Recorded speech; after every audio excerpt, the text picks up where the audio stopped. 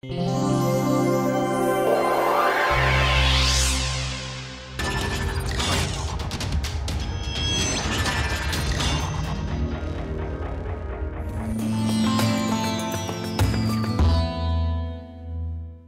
looked at uh, thematic relations yesterday, right? And uh, now we are coming back again to structural relations and we'll be looking at case. But before, and uh, these are the two questions which we need to understand. So what is case and how do we understand them configurationally? If I, if I ask you this question, what is case? Have you heard this word case before? Yes? Can you give a couple of examples of that? In, in which context did you hear this term case? Nay. What is that? Karta Karak. Karta. Karta is the name of a case and Karak is the Hindi word for case. Okay? Uh, anything else? Anybody wants to add anything else? No? Okay. Uh, so there are there are several of them. Case simply means uh, that in a different in in different positions in a sentence, okay, different NPs have different cases. What are the different positions in a sentence that you have seen so far? According to grammatical relations, the different positions are subjects and objects, right? Semantically speaking, we saw yesterday agent, theme, right? Sometimes patient, sometimes experiencer and several other themes. Again, talking about grammatical relations, a subject is supposed to have a different case and an object is supposed to have a different case. Okay? Uh, and this, this happens through structural relations. And this is what we are going to look at. Okay? But in a, give it a moment, I wanted to talk to you about these sentences where we stopped yesterday. And then we are going to come back to structural relations in a moment. Remember these sentences? Simple ones, right?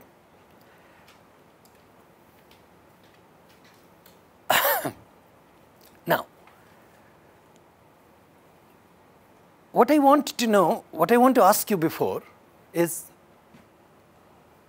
did I, did I talk to you about two types of there? Two types of that? And I, I talked to you that one is demonstrative pronoun and the other was anybody there was another one too right which was not demonstrative pronoun do you remember that much there are two types one is demonstrative pronoun when we say that pen or that room uh, that boy these are these are examples of demonstrative pronoun if we are talking about that but there are certain places where the same element that does not have the same meaning. So you, you know at least this much, right? So that, that's a different type of that. So we, we can say there are two types of such elements. Similarly, there are others, other elements in a language like English, which has at least two different functions. And two of them are it and there what, what do these two words mean? It and there. They are, they are also sort of pronouns, right? Which, uh, which uh, and as we know about canonical definition of a pronoun, pronouns are uh, replacing nouns, right? So in a way, they are nouns. But if you look at this sentence, it rained. What's the meaning of the word it? you know the sentence, if, if someone asks, okay, how do we say this sentence in um, Hindi? Say it. Varsha, hui thi. The same sentence, right? How, how do I say it is raining?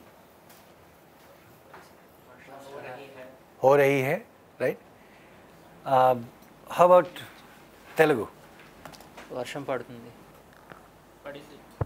okay as in Is it is raining or it rain? Or which sentence? Either way is fine for me. it is raining. How do you say? Uh, Varsham padutundi. Okay. Same sentence of Telugu can be translated this way. It is raining. Right? Now, what is the meaning of it in English, in this sentence of English? All of, us, all of you know these sentences, right?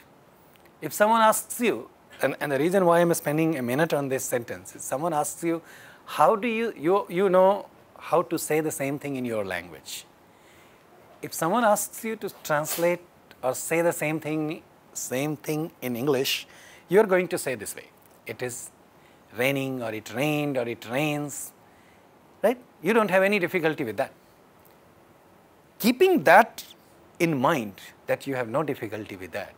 If someone learning english asks you this question what's the meaning of it how will you answer that question does it have any meaning? We, we, we need to move. Does it have any meaning? And if it does, what's the meaning?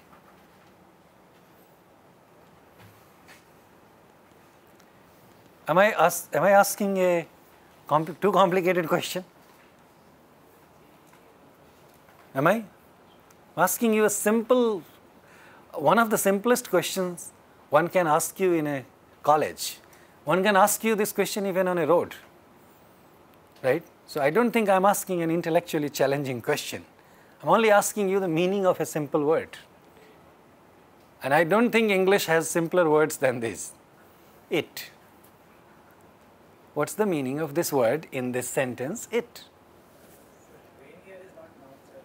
No, I, am not interested in noun, pronouns, or anything. I'm only asking what's the meaning of the word it. I have a sentence, I have heard this sentence somewhere. It rained. You know English and I don't know. I want to know what's the meaning of this word it.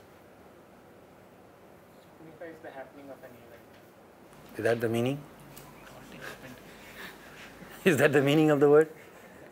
If someone asks you what's the meaning of uh, gulab jamun, you say you get this in bigger stores and uh, uh, it, it looks red, it's sweet. Is that the meaning of this word? That's in a way a description of the word, right? Now, let's let's move move. The what's the point? So at, at least you you can tell me something. No? What's the object? subject. And it cannot be used. Yes. It should have something, some subject ahead. It should have some subject for that, right? Very nice. it's a complementizer I guess It's a complementizer. You have heard the word complementizer before when I was discussing that, right? All right. Not everything is complementizer, right? Not everything is going. Complementizer is not going to be solution for everything. Okay. But very nice. Very nice. I am can say rain falls. right. There rain is used as a noun. Yes. That fall is a verb. Yes. So verb fall has this uh, Sure. subject. Yes. But here rain is a verb where it should have a subject. Right. And because it, it is the it is there to complete the structure. Very nice. Absolutely. You you are right. But that's the next step. Right? I, I'm not I'm, I'm not hung on this uh, question, but I want you to understand that if someone asks you the question, what's the meaning of it? Right? And without having 25 classes on principles and parameters, if you tell them that because a sentence needs to have a subject, the person is going to lose interest. Right? However, you are absolutely right. There is absolutely no problem with what you are saying. What I am trying to tell you is that's the second stage.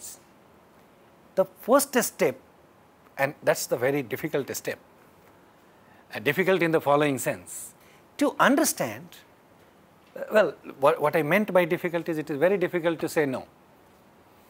Okay. this word does not have any meaning. And this is why probably you have difficulty saying anything about it. Right? When I am saying, look at the sentence, anything, you have difficulty saying anything about it. In this sentence, it does it, does the word it has a meaning? Yes? In the, in the sentence that I just said, you have difficulty saying anything about it. I think if we substitute it, it with any other uh, noun phrase, it might become sort of repetitive. In case in this first uh, sentence, if we put the rain rained, it becomes very repetitive. So the, we need something which doesn't explicitly say the rain rained or something like that, but something else to substitute it. Uh, sort of okay, but his answer is better. Yeah, you, you see, to say no, I understand. It doesn't have any meaning. It does have a meaning in this place. I, I understand what you're trying to say, but I want you to understand, do you understand what you said? And before that, I want you to understand what I am saying. What I am saying is, this word does not have any meaning in this sentence. Why it's there and what else could have been there and what, why something else could not be there are the stages later. Given the sentence, this is a grammatical sentence of English. In this grammatical sentence, this word does not have a meaning. Okay? Now, the second stage is if it doesn't have a meaning, what is it doing? Okay? What is it doing here? It's doing exactly what he was he's trying to say. That every sentence, irrespective of English, Hindi, Telugu, Malayalam, every sentence must need a subject. Now, and here comes what you are saying. It's, there is no point saying rain, raining. Right? The same thing we can say by raining. But we cannot say raining. And he, he gave you another example, a very nice example. When we say rain falls, it's a good sentence. Rain is the subject, fall is the verb. Right? It's a good, good. Uh, it's that's that's a transitive verb, but let's let's move ahead with that. That's a good sentence. It has a subject, it has a predicate. The sentence is, seems to be all right. But when we say raining or rains, doesn't mean much. Doesn't mean much in the sense that it's not grammatical because it is it doesn't have a subject. And remember, it's not even a sentence like go home. Right? Go, we can say go. Can we say rain? Right? We, we are using this as a verb. It's raining. But we cannot say rain because when you say go, you are telling someone. When you say rain, who are you talking to? You uh, understand the point? We just cannot say rain. So it's not an it's not a imperative sentence either. Therefore, it needs a subject. And in certain cases, when there is it, it's just not possible that we don't have a subject.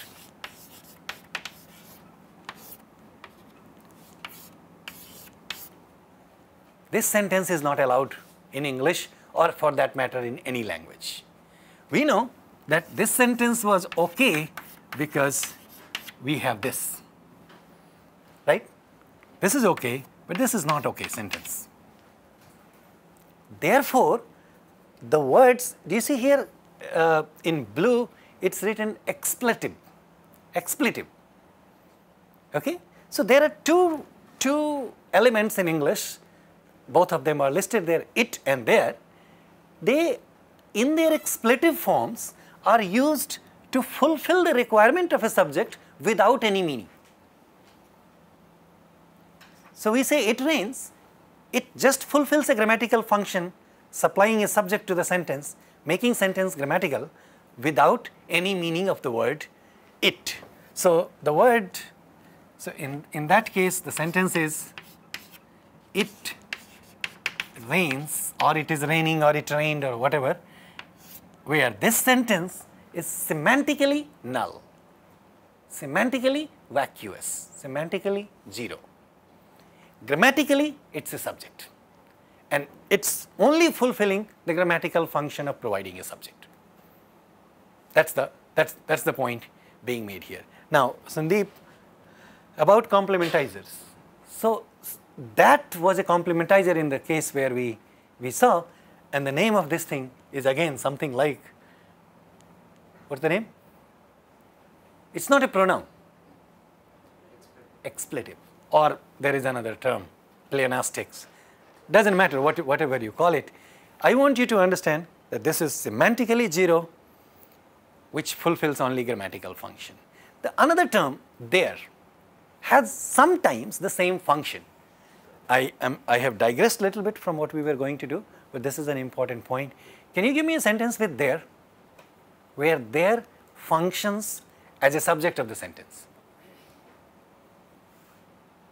There has been a uh, class. There has been A class. a class, okay. There are, there are 20 students here, right? There are 20 students here. Can we say simply are 20 students here? No. We can say 20 students are here. That's fine. In that case, 20 students become the subject. But we cannot say are 20 students here. In that case, we have to use a word with, which is semantically zero again to fulfill the requirement of the subject. And then the sentence becomes there are 20 students in the class. Okay? And the sentence becomes good. Again, now think about the same sentence with the question that I have been asking you. What's the meaning of there in that sentence? There are 20 students in the class. What's the meaning of there? The answer is nothing. Though that word does not have its meaning and therefore semantically zero.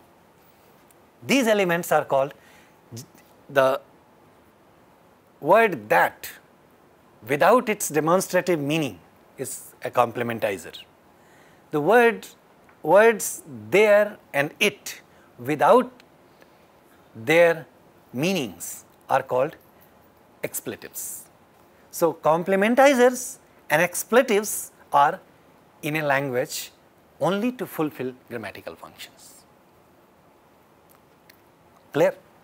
Okay. Uh, now, I have put the term extended projection principle for that. Okay? I just wanted to uh, bring in this term when subject must be present in a sentence. The principle is called extended projection principle. That is, no, and, and by name you can see it's a principle. So, no language is allowed to violate this, thi- this thing. Every language must follow that, which means every language must have the subject. And this principle is called extended projection principle. And in order to obey this kind of a principle, English in such cases uses a different term but doesn't leave the subject position empty. It, it copies the same it, becomes semantically zero and uses in this term, in this place. Makes a word, copies a word there, uh, uses in, the, in, the, in a sentence in the subject position and does not leave, language like English does not leave the subject position empty. Okay? Also keep in mind that these sentences are not like English, not like Hindi sentences or sentences from our languages where we can say घर जा रहा हूँ Understand? Understand my question? Understand my sentence? When we say घर जा रहा हूँ, in this sentence of Hindi, the subject position is not really empty. What is the subject position? Subject in this sentence? मैं. Therefore, not an empty subject. Therefore, the sentence is good and grammatical and subsequently not violating extended projection principle. But if we leave these sentences raining or rained, the subject is not recoverable from the context or anything else, from the inflection. Subjects are not recoverable from inflection. Therefore, it needs an overt subject. How you manage that is the language internal problem. And language finds a way to resolve this issue. and this is how it resolves. Clear? We understand extended projection principle? Go ahead. Uh, any example of in Uh, no. No. But I want you to answer one more question. In, in the response to your question, if I say no, right? What is the basis of me saying such an emphatic no? Native speaker. No, no, no, not just the native speaker. That, that's fine because I, am because I am a native speaker, I can say no, no, no, no. Here, I, here I want you to uh, allow me a minute of digression uh, again. A native speaker's capacity or capability is to give you a judgment about the sentence. The native speaker's capability is to identify a sentence whether a sentence belongs to Hindi or not. A native speaker's capability is to give you judgment about whether a word belongs to Hindi or not. For example, you use this word expletive. Ask any Hindi speaker whether they know Hindi or not. Uh, I am sorry, whether even if they don't know, even if they do not know a single word of English, they will tell you at least that this word does not belong to Hindi. Am I right? So that's the capacity of a native speaker. The capacity of a native speaker does not include telling you, does it have any expletive? Understand the, understand the, the, the question doesn't belong to native speakers.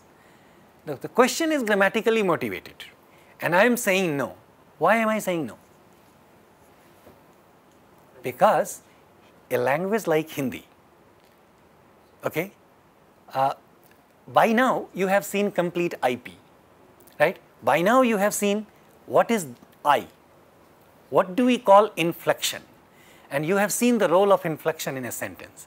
So when we say ghar ja raha hu, the subject I, which is मैं, is recoverable from inflection.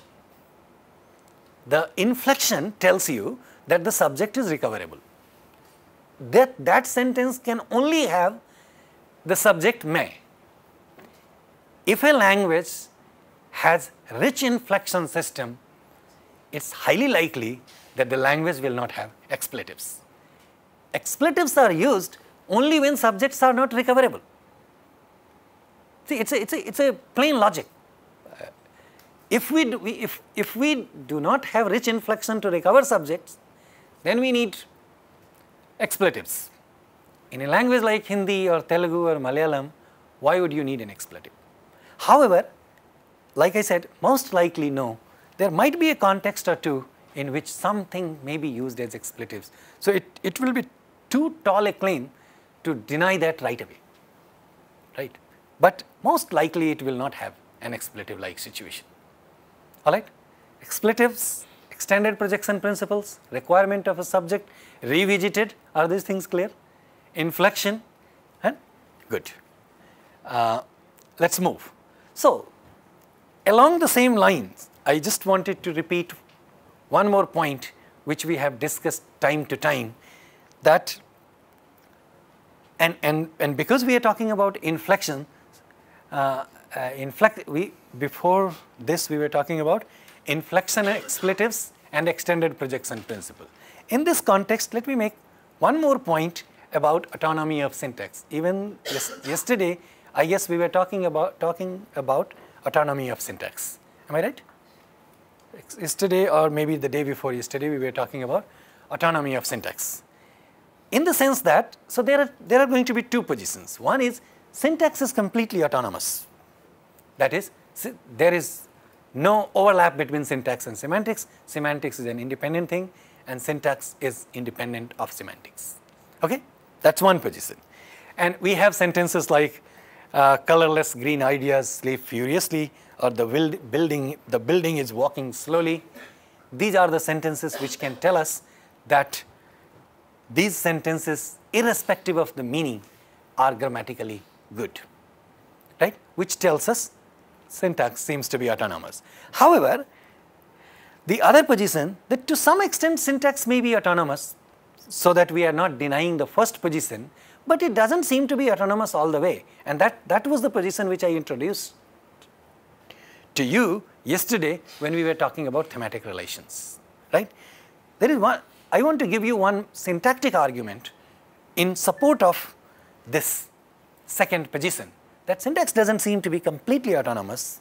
It is autonomous to a great extent, but not all the way. Look at the two sentences.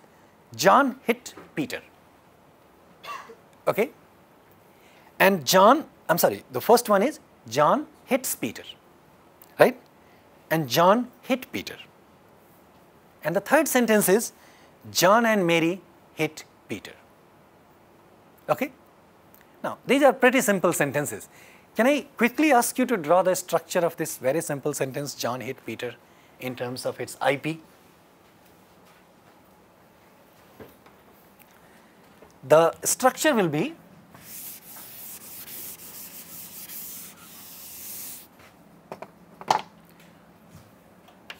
we have an IP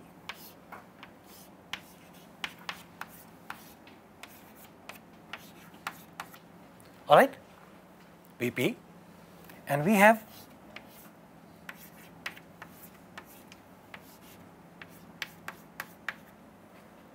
so in this specifier position of the IP we have an NP which is John. Right? And then we have the verb hit and the, it has an object which is an NP and this object is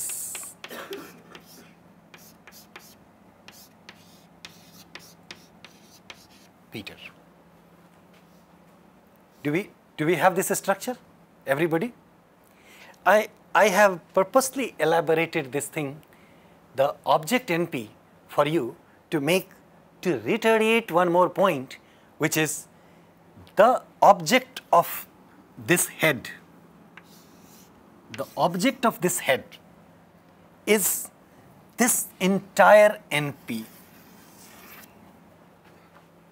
The object of this head is entire NP, not just Peter. And as long as we know the whole NP is the whole, Peter is the whole NP, we can, we do not need to draw, we can just write it here. But conceptually we need to understand this with clarity that the object of this head, V, which is hit, is the entire NP, not just the head of this NP. Because in such a case, suppose we say John hit the monkey that was running on the road in the evening. Okay, John hit the monkey that was running on the road in the evening. In this case, what's the object of the verb hit?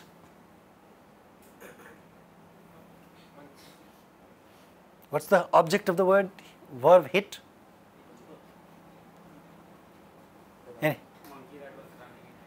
The monkey that was running on the road in the evening. The entire chunk. And what is that chunk?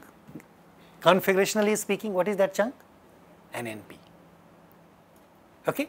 It will have an N and then it will have a complement, whatever rest of the things will be complement of that N. All right? So that and that this becomes clearer only when we know that the the complement of this head V is the NP, not the N. Okay? All right. So that was another that was another point in this context. Now, keeping this uh, elaborating on the second point of this argument about autonomy of syntax, I want to tell you, I want to ask you this thing. So if first sentence, John hits Peter, what do I put here? In terms of uh, agreement, singular, and which is S, right? Now, in terms of uh, second one, so hold on, hold on. So, and what's the tense here? Present tense. Singular agreement, present tense, and then there is an uh, there is an some kind of aspect also. Can I ask you the, this question? What's which, which aspect is here? infin- indefinite aspect, right? All right. Now, so this is the sentence number one. Tell me about sentence number two.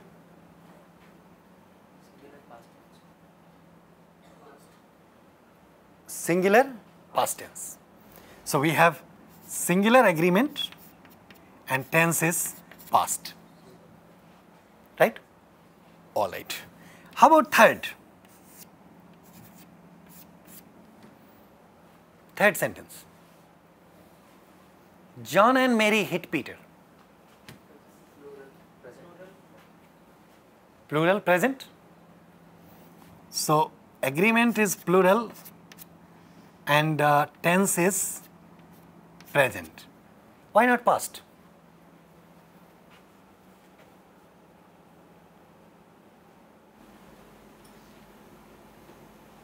So pretty simple sentence. I'm asking a simple question. Why not past? Why can't it be both present and past? That's what my question. No, no, no.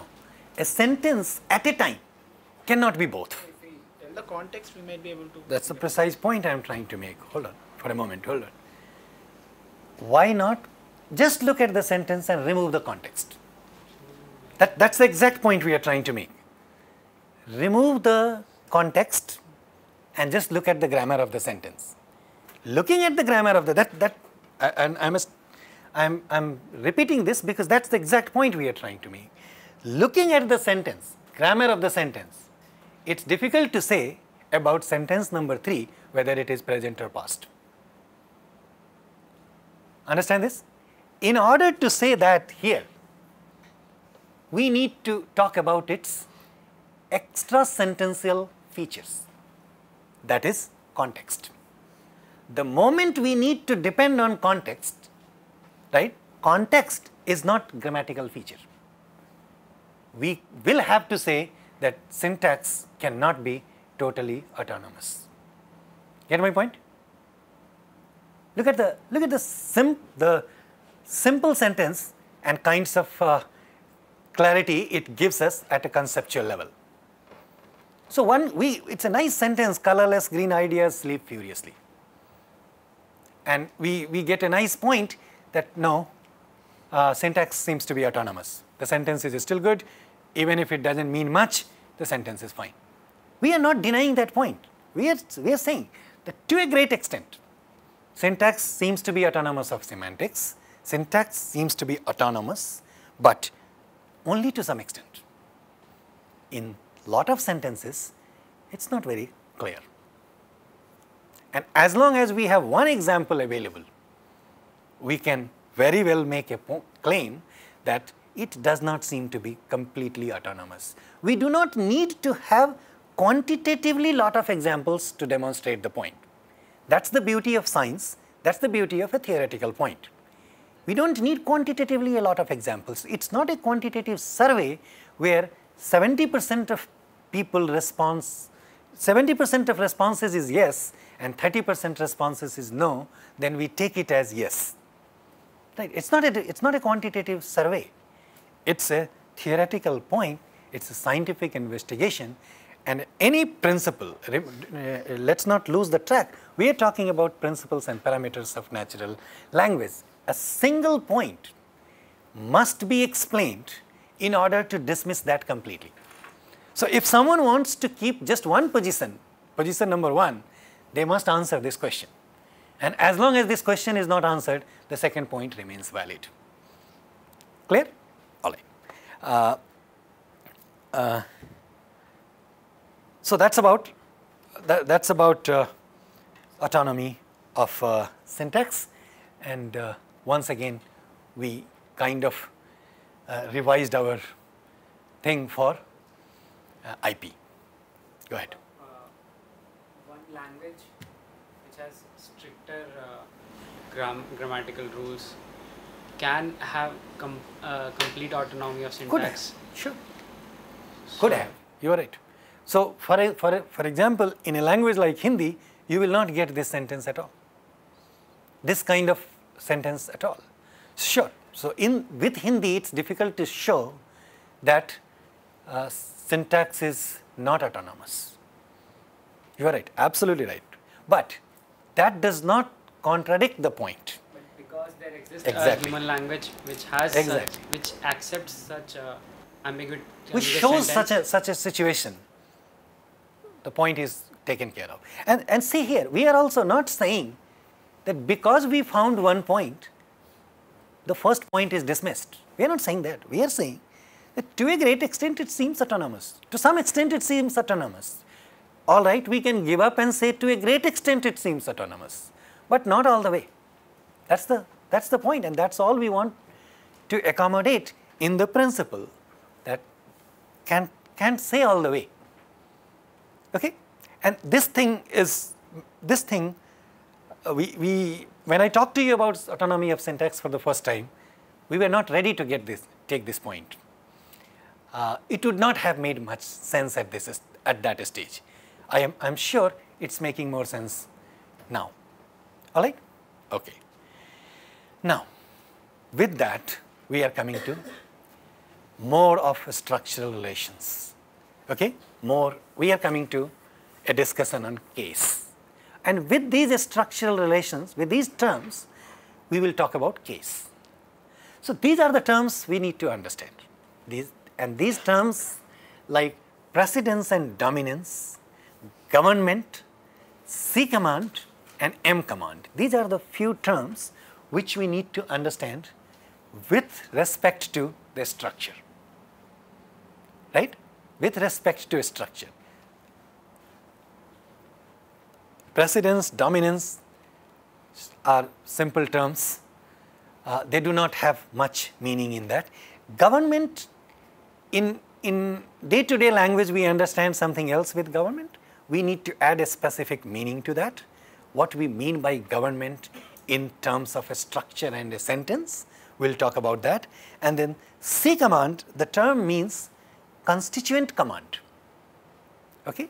Like in a sentence, we have several constituents like NP, VP, and again NP and PP. These are the constituents of a sentence. So they simply, the, the term C command simply means constituent command. Okay? And the term M command means maximal command. So people don't use the words like constituent command or maximal command. In short, people use terms like C command and M command. We will elaborate on these terms as well. Uh, very simply, let me first, uh, so I, I had this sentence, our good old sentence, uh, for the purpose of a sentence, but now we will work with the sentence that we have on the board, right? We have just seen the sentence. So let's look at uh, the terms of precedence and dominance. It's a, it's a simple term. If I tell you,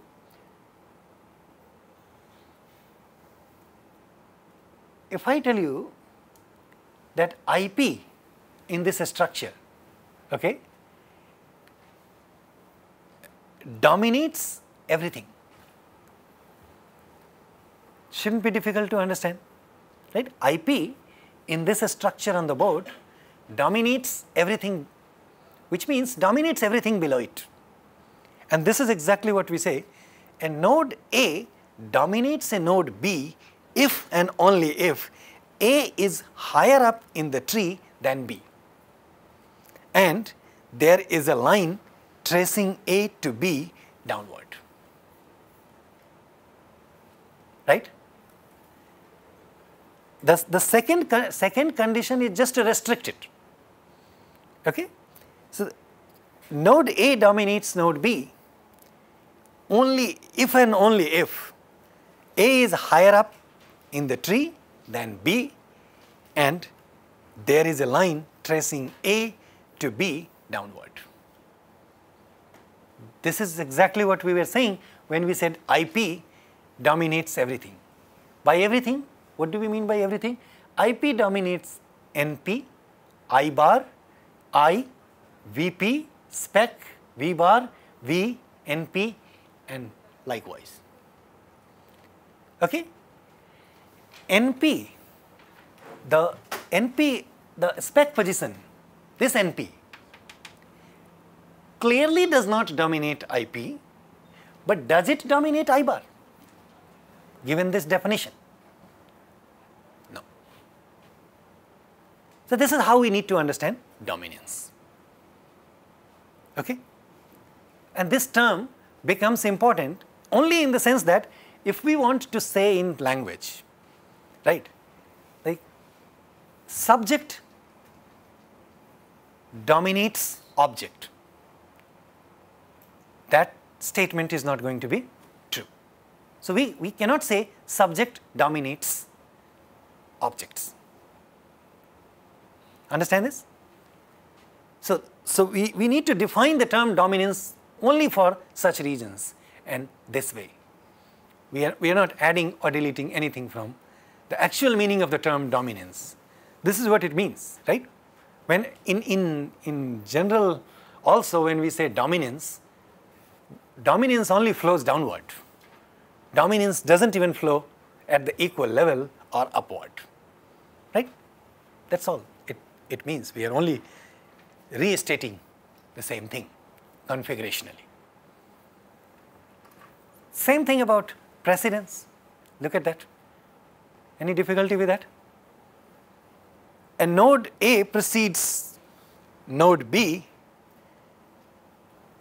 if and only if A is to the left of B and A does not dominate B and B does not dominate A.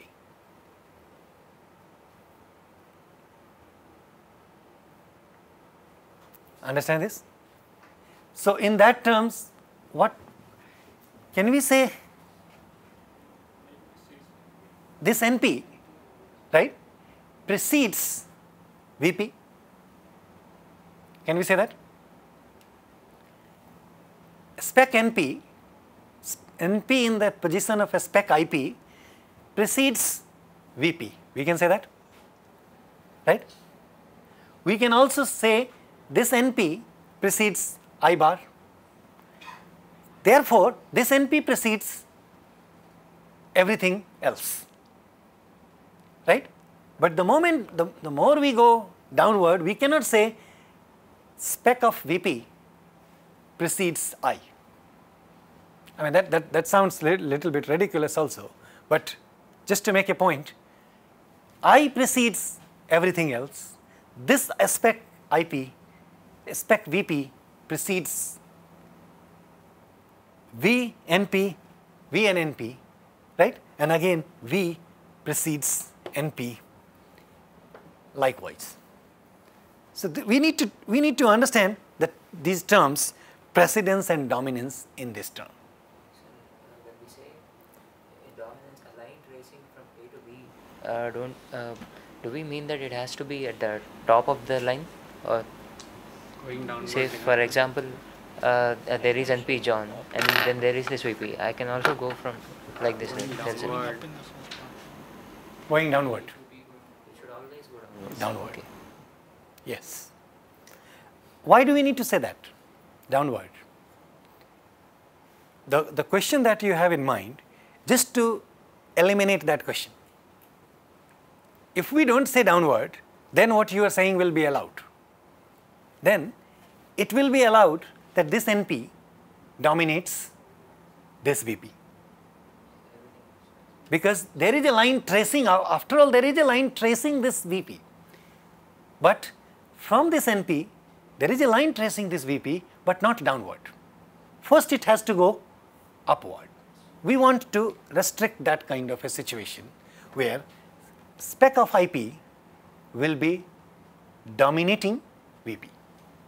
We don't want to say that. IP dominates VP, I bar dominates VP, not even I. I precedes VP, NP precedes VP, but doesn't dominate, do not dominate VP. Just to restrict these kinds of situations, we are defining it this way. Right? This is, this is a very carefully crafted definition. I mean, I, I have not done this. This is, if you, if you look at your book, these definitions are there in, in chapter 2 or in some place. Okay? Just to,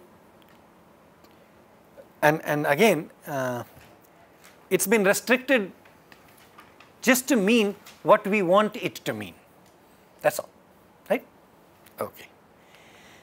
Uh, I we already have the, Sir, uh, if there is uh, more than one branch coming from the inflectional phrase, then we cannot compare the elements of branch, uh, one branch with, with the element of another branch, right? uh, More than one branch say it again, say it again please. Suppose- One. Binary tree. We only have binary structure. We cannot have more branches. Yeah, yeah. Uh, there is a binary structure. Yes. We cannot compare the elements of uh, one branch with the other one. Suppose the noun phrase is, uh, has more than one element. Suppose there is also a uh, adjective Okay. describing the noun, then uh, uh, those elements cannot be compared with the elements of this branch, right? No. Absolutely not. at same level. Yes. More than that, I, I think I understand what you are saying, but to summarize that, the any element in the structure, we will decide whether that element precedes or follow, precedes or dominates only on the basis of this. And it's never going to have more than binary, but I do understand what you say. Even in the binary branching, what if uh, uh, can, can the two things be compared? The question is not of comparison. The question is of whether a, a node dominates the other one or not, and whether a node precedes the other one or not, will can only be decided with these these restrictions. These are not these are not in a way definitions. These are restrictions added to that. We already know precedence and dominance. We are only putting some some restricting condition on them, keeping the structure in mind. Okay? All right. Uh, then we have, uh, we, I only had these things to show you precedence and dominance. Uh, I, I need to talk to you about uh, uh, spec head agreement that I want to skip for today and I'll talk to you about it when I discuss. Uh, I do want to spend another five minutes or five to ten minutes talking to you about uh, IP and expansion of IP. Remember, we have, I think we have talked to you about how we can separate uh, the features of IP, features bundled under IP and have a bigger structure. And then it's clear to see that there is a functional layer and there is a lexical layer. And then we, then we get to see, or the question comes up that how come the spec, where does the, where does the subject go in that case? And how can a subject be part of inflectional layer? It should be part of a lexical layer. And then I also talked to you that in such situation, the proposal is that the subject of sub, the, the subject of a sentence actually originates within the VP, right? And it was at that point where we can see with clarity the, uh, the notion of deep structure. What does it mean when we say deep structure? And then let's not forget that we are talking about all these things under one simple rubric, which is I language. Understand this? Understand this thing? So let me come back to agreement. Sorry, sorry, spec and head agreement, and why a spec and head agreement is really important. What I mean, what I mean by that is this: this is the head, and this is the specs. It's not clear here, but there are cases when we expand IP, then we understand why this kind of configuration is important, why a specifier position is important to a head, and how can we maximally exploit it to, to understand certain more nuances of natural language.